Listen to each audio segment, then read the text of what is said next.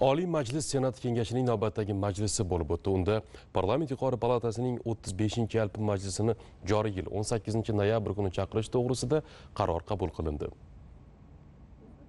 Qayd etilganidek navbatdagi yalpi majlisda bir qator masalalarni muhokama qilish rejalashtirilgan. Davlat boji to'g'risidagi o'zbekiston respublikasi qonuniga o'zgartish va qo'shimchalar kiritish haqidagi xotin qizlar va erkaklar uchun teng huquq hamda imkoniyatlar kafolatlari to'g'risidagi o'zbekiston respublikasi qonuniga qo'shimcha va o'zgartishlar kiritish haqidagi korporativ boshqaruv tizimi yanada takomillashtirilishi munosabati bilan o'zbekiston respublikasining ayrim qonun hujjatlariga o'zgartish va qo'shimchalar kiritish to'g'risidagi o'zbekiston respublikasining ayrim qonun hujjatlariga mahkumlarning huquqlari va qonuniy manfaatlarini ishonchli himoya qilishga qaratilgan o'zgartish va qo'shimchalar kiritish to'g'risidagi qonunlar shular jumlasidandir. Shuningdek izmir shartnomasini ratifikatsiya qilish haqidagi hamda o'zbekiston respublikasi hukumati bilan turkiya respublikasi hukumati o'rtasida harbiy hadli bitimni ratifikatsiya qilish haqidagi qonunlarni ham ko'rib chiqish rejalashtirilgan. Bundan tashqari yalpi majlisda ikki ming yigirma ikkinchi yilning to'qqiz oyi yakuni bo'yicha davlat byudjeti ijrosi va ikki ming yigirma ikkinchi ikki ming yigirma oltinchi yillarga mo'ljallangan yangi o'zbekistonning taraqqiyot strategiyasini inson qadrini ulug'lash va faol mahalla yilida amalga amalga oshirishga oid davlat dasturining bajarilishi yuzasidan vazirlar mahkamasining hisobotlari ko'rib chiqiladi. Yuqori palataning navbatdagi yalpi majlisida toshkent viloyati va toshkent shahrida yangi ish o'rinlarini yaratish hamda aholi bandligini ta'minlash bo'yicha amalga oshirilgan ishlarni o'rganish natijalari ham senatorlar muhokamasida bo'ladi. Yalpi majlis kun tartibidan daryolar o'zanlarini tozalash va qirg'oqlarini mustahkamlash noruda foydali qazilmalarni qazib olishning atrof muhit suv va yo'l xo'jaligi obyektlariga salbiy ta'siri yuzasidan vazirlar mahkamasiga yuborilgan parlament so'rovi natijalari o'rin olgan.